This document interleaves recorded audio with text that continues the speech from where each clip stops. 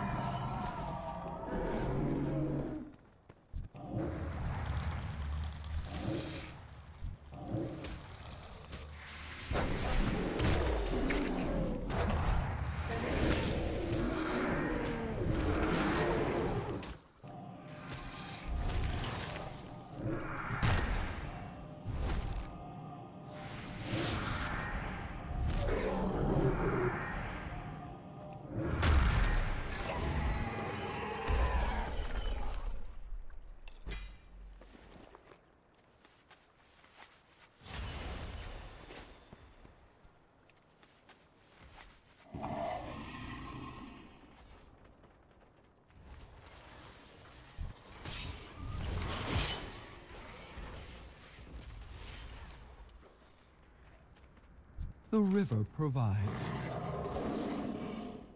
Beware the deep places of the